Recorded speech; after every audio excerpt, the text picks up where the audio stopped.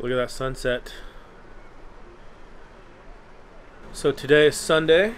We are moving into phase two of reopening Croatia tomorrow, which means that more businesses were open, hair salons, other places where there's a little bit more contact than normal will open up.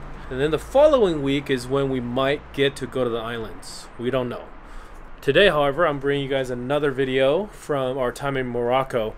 This one is uh, the time we spent at the uh, reservoir. It's a reservoir just outside of Errachidia, which is about two hours north of Merzouga. And Merzouga is the place we went to that has the sand dunes of the Sahara Desert. So this is our probably by the time we got here, it was about two weeks in to our time in Morocco. So this will put us right around February, at the end of February, very end of February. By this time, places in Europe had already started to experience some outbreaks. I think Italy had, we had just heard that Italy has some pretty severe outbreaks. So at this point, we were pretty aware of what's happening, but we were as far south as we're probably uh, going to be in Morocco, and you know, being that we were still pretty far away, we felt pretty safe. But you know, a couple weeks from this video is when things takes quite a turn. But as you can see here, you know, still pretty normal. This is end of February 2020 in Morocco, while camping at a uh, reservoir.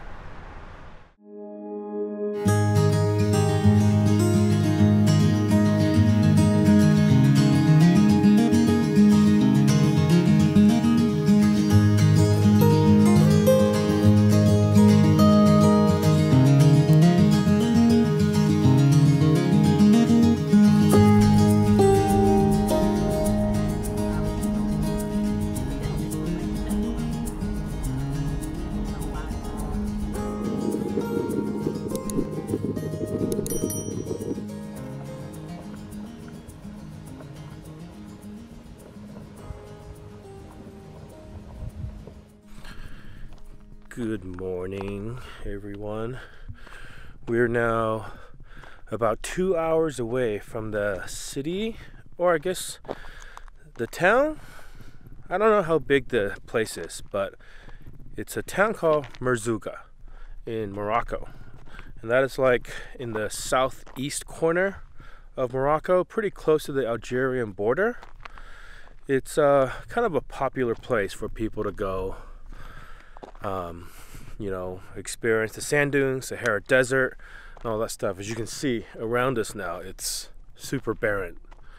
This uh, this kind of reminds you of uh, like the deserts of Utah, sort of. And this spot specifically, we're at a, a reservoir.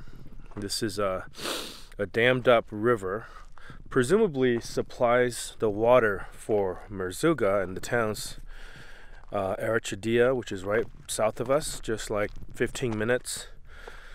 Presumably supplies all the water for there because we are sort of on the south end of the mountains now, the Atlas Mountains. We crossed over the Middle Atlas to, uh, which is where the cedar forest was, where we camped with uh, these monkeys. And then, um, yeah, we drove kind of over or slightly through the high atlas. And now we're on the south end which as you can tell is like super dry. This water is pretty cold actually. I think it's from snowmelt from the high atlas. Whichever water from the high atlas that flows in this direction. I don't think most of it flows north as far as i can tell because it's really really green north of here in fact, the cedar forest was the last place where the Barbary macaque monkeys are. That was the last place where we had like really green landscape, trees and vegetation. And here is that. It's pretty, uh, pretty barren. There's, uh, but there is farming going on here.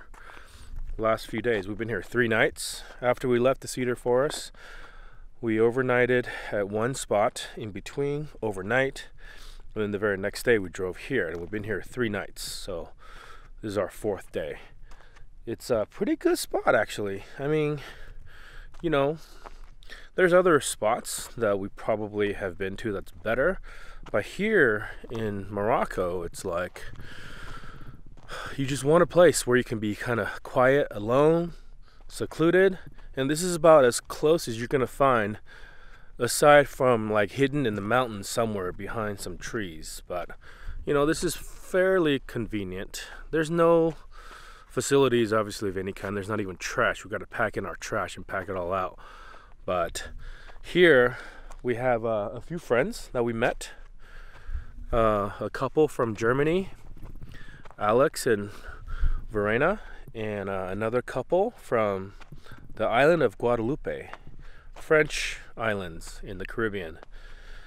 And uh, yeah, they're uh, they're traveling. Antoine and uh, Alize, and a young German guy that showed up two days ago. Uh, Benedict, he travels around. He's from Bavaria as well, just like Alex. But they uh, they actually met in Portugal last year and didn't recognize each other until yeah they got out.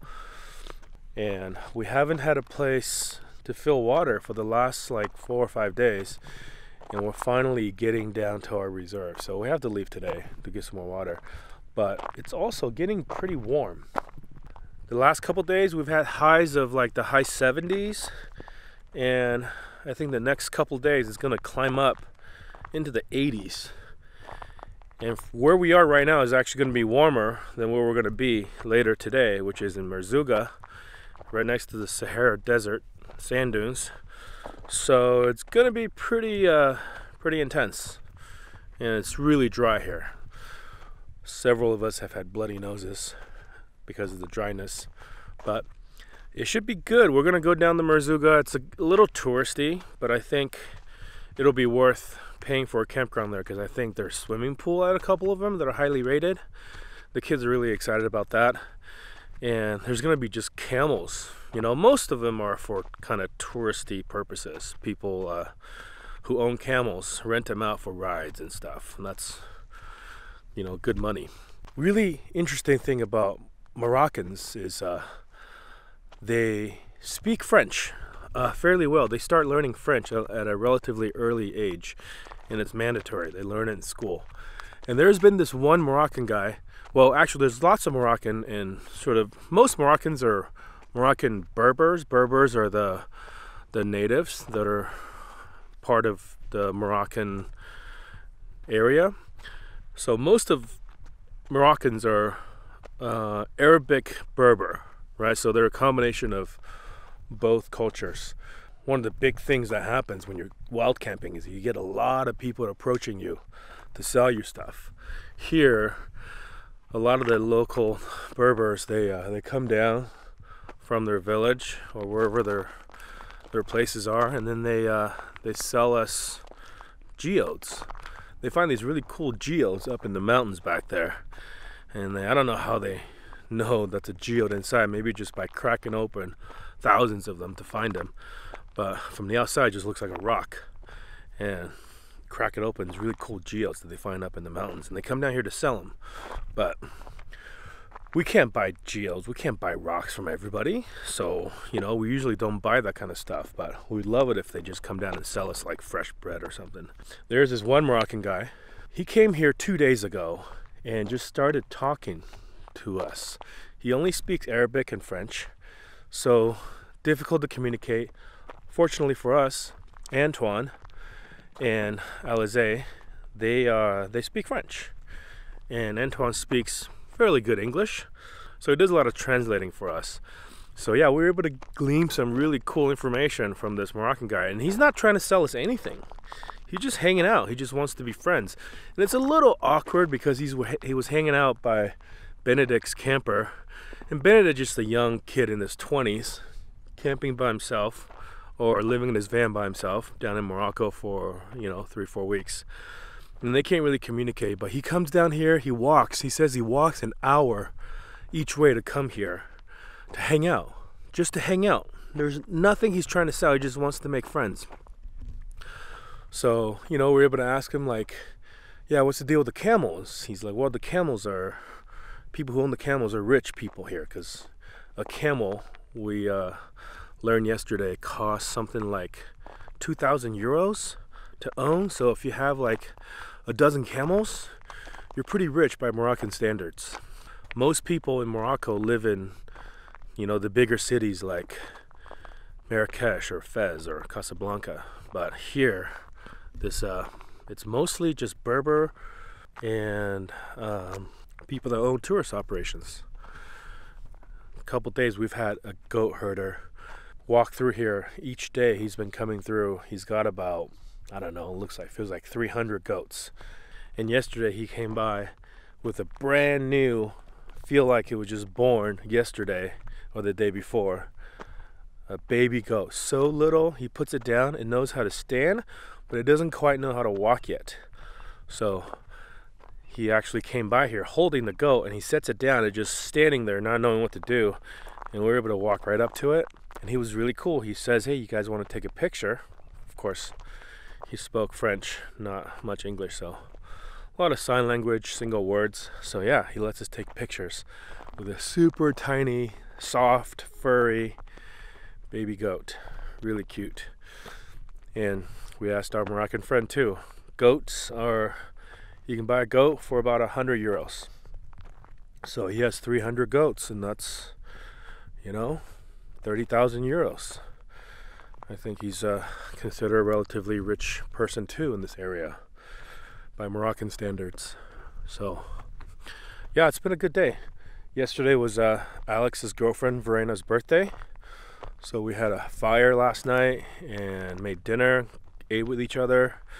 Our Moroccan friend was here hanging out all day. At the beginning, it was kind of awkward because, you know, everybody's inside their vans. He's just sitting outside by himself. He comes out here drinking tea. He brought his tea kettle. He made us all tea too yesterday. So, pretty, pretty amazing experience. Even though this place feels like Lone Rock in Utah or Lake Mead in Nevada, it is otherworldly different when it comes to culture and just the rest of the surroundings. So we've had a good three days here, four days, I guess. We've been here now, I think, as of today, two weeks, and we spent the first seven nights paying for campgrounds, and then the last seven nights while camping. Both have been good.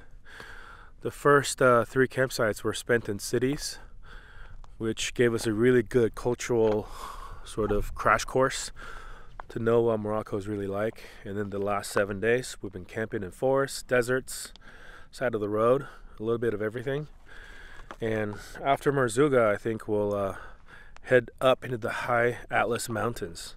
I think it's going to be hot, and it's going to be a good reprieve for us to get up in altitude to get away from the heat.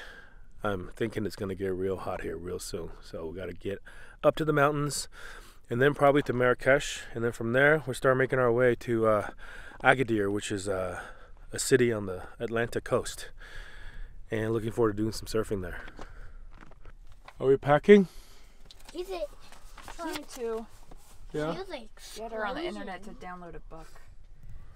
Okay. Well, I'll swivel the seats. I'll organize the front of the van. Oh, you, you did the dead body already. Yeah, I did. Thanks.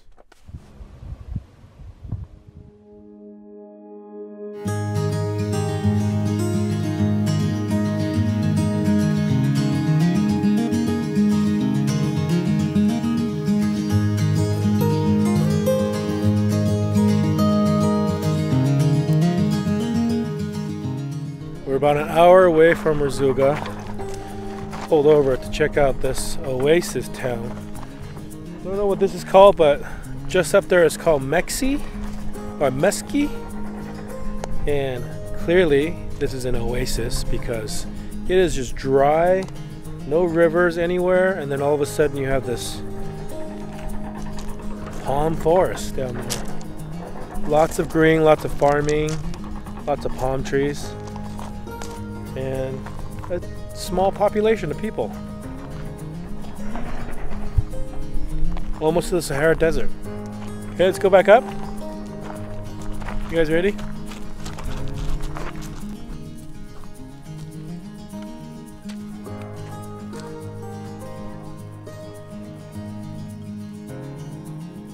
We made it to the Sahara Desert. We're at the town of Merzouga in Morocco, right at the edge of the Sahara Desert. It's really cool place. We're staying literally right at the edge of the sand dunes right here. And we're doing something really special today. We decided that we're gonna ride camels.